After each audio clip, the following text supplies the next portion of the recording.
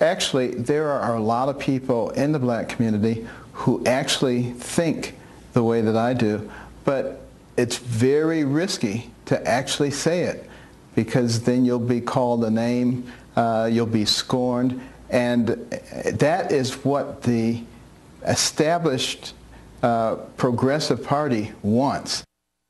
Well, that was Dr. Ben Carson last night, right here on the Kelly File, talking about his recent message to the black community that protests against police, uh, that he says those protests are distracting from the bigger problems they face. Now, other 2016 GOP candidates are starting to take on the Black Lives Matter movement.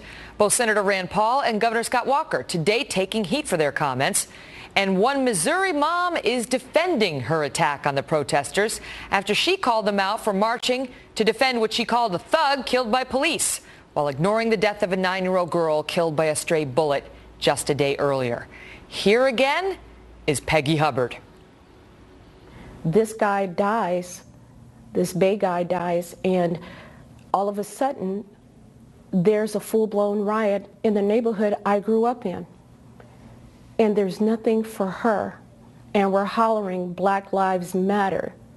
He had his chance to matter. He chose his path. He chose his destiny. Jamyla never got her destiny. She never got her promises. Her, her life mattered. Her dreams mattered. Her vision mattered. She could have been the next Secretary of State. She could have been the next Attorney General. She never got a chance. Mm. Lieutenant Colonel Allen West is a former congressman and CEO of the National Center for Policy Analysis. And Richard Fowler is a nationally syndicated radio host. Richard, let me start with you on this. Where's she going wrong?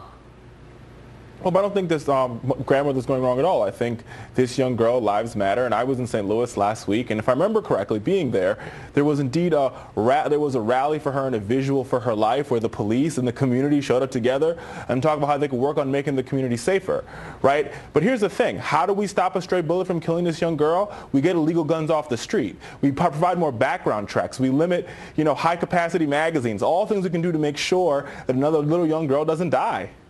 So it's the guns, Colonel West. It's the guns. That's what killed her.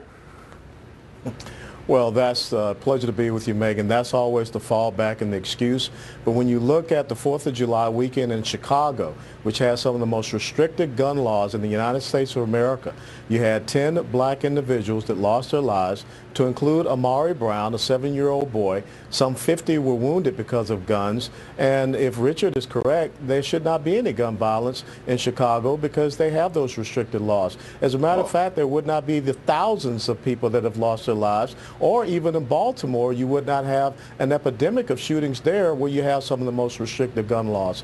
The bottom line is that there are people in the Democrat Party, liberal progressives, that don't want to face the facts that there are failed policies within the black community, within the urban centers that are causing the breakdown of the family. They're causing the lack of education opportunities. Mm-hmm. It's causing the lack of small business entrepreneurship. Well, speak to that last point in particular, Richard, the breakdown of the family and the, and the role that's playing well, and not being addressed. Listen, what nothing breaks down a family, right? Love is what makes a family a family. It's not having a, a, a father or a mother in the family. Totally That's irrelevant. Absentee fathers and 70 plus percent of these families meaningless to you. It is. I'm from an absentee father, and I'm sitting right here on the show with two And you're degrees, the rule, so not the exception? No, I think that, don't get me wrong, I think that we need to provide more opportunities for in our community, right? And how we do that is by pro- providing proper funding, creating community centers, mentorship, right? That's how we do it. But if you talk to the police chief in Chicago, what he will tell you is the reason why the streets of Chicago are so violent is because of illegal guns being on those streets. The first thing we've got to do, whether you're Democrat, Republican, or indifferent, is get those illegal guns off the streets. How you do it? Providing background checks at gun shows, limiting high-capacity magazines, making sure that the well, wrong Richard, people don't I'm get give guns. the floor to Colonel West, but how does that address the, the people who it takes want the guns to kill? Off There's the streets, like, okay, Megyn. but like there are other ways to do it, you know. And we've seen machete attacks. We've seen like machete what, attacks don't, don't kill 51 the, the people. The urge to kill. I agree with you. We have to address the urge to kill, but you cannot change hearts and minds. What you've got to change is policy and procedure. All right, I'll give it to you, Colonel West. I guess if we just get rid of the one weapon, we can stop the murders from the millions, from the wannabe murderers. Well, first of all, it was a black gentleman who challenged the gun control laws in Chicago because he did not feel safe in his home. The second thing is we're in the 50th year of the Great Society programs of Lyndon Baines Johnson. And one of the things that he did was he promised women who have children out of wedlock a check from the government, and as long as they never had a man in the home, they will continue to get a check. 50 years ago, the two-parent household in the black community was at 77%. Today it's at 25%. Let's talk about the real issues. It's not about a gun. Colonel, no, I'm Richard, it's not about I'm- a gun. I'm, I'm, I'm glad you I- read the Richard, Republican Party's I- talking I own- point to the black own- community, but that no, doesn't these aren't answer the fact points. that This right the now, truth. right here. This is the truth. I don't kids know. need This is the truth. Something's we happening need on the job Democratic side. on every About. Republican You policy. guys are to wonderful, fix though. this. Pick one This is why we Republican need like policy an to fix online this. This is the segment truth. to One. expand. I wanted to keep going, but they Colonel, no facts. they wrap me so often. Oh, they're getting mean now. Okay, great to see you both.